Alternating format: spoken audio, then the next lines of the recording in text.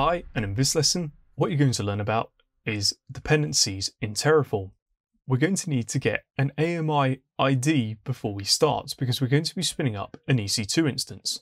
Quick word of warning, each AMI is going to be different per region. In this case, I'm working in London and my region is set to EU West 2. If you're working in a different region and try to use the same AMI I'm using, it won't work. So I'm going to show you now how we get the ID. So let's start. In our AWS Management Console, type in EC2. Then click on Launch Instance. What we want to do now is pick an AMI. I'm going to use the one at the top and I'm going to copy the ID. One of the key things to look for here is the free tier eligible. And once you've copied the ID, you're ready to get started. So what we're going to do is go back over to VS Code and create a new folder. I'm going to call this dep, which is short for dependency. Inside, I'm going to create a new file. This is going to be main.tf. I'm going to paste in the AMI so I don't lose it. What we're going to start with is our provider, AWS, and I'm going to set the region. In my case, it's London, so region is going to be equal to EU-West 2.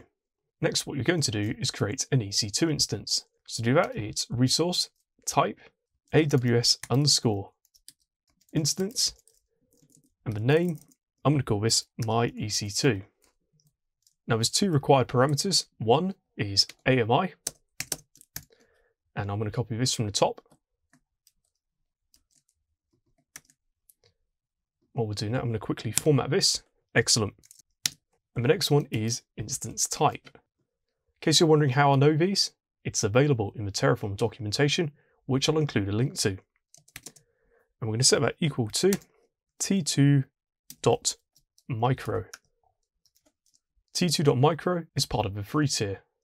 Next, what I'm going to do is add a name. So we're going to set up tags equal to, and we're going to set name equal to, and we'll call this web server. Next, what we want to imagine is we have a dependency. So what we're going to do is copy the code and we're going to create a DB server. Now let's imagine this. We want our DB server to come up first before our web server starts. So let's go ahead and copy this. And I'm going to add db to the end, and we're going to change this to db server. Now, because we want the db server to come up first, what we can use is a function called depends on. Now, it's a list, so it can take multiple instances. The one we're interested in is aws underscore instance.myec2.db and we're going to have to get rid of the string interpolation. It won't break, but it will return some sort of errors about it being depreciated.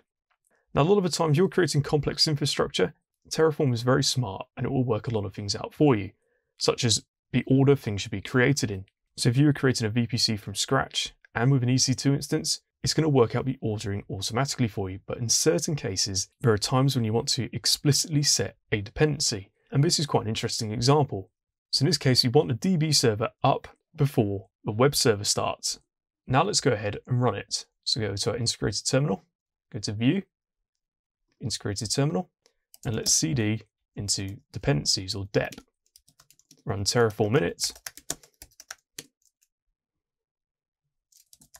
Awesome, now let's run Terraform plan.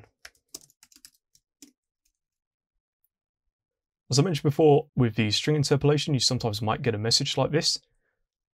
Now it's not going to break and it still will run, but in 0.12 syntax, even the quotes go. So now let's run that again and make sure that warning disappears.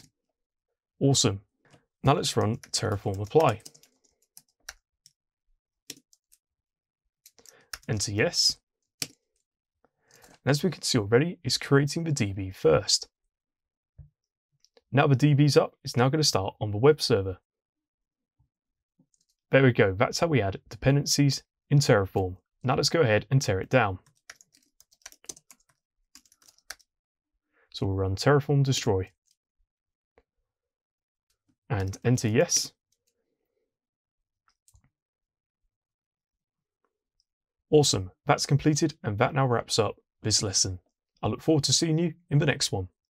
If you want to learn Terraform in depth with hands-on challenges and even get certified, make sure to go to warp-9.com.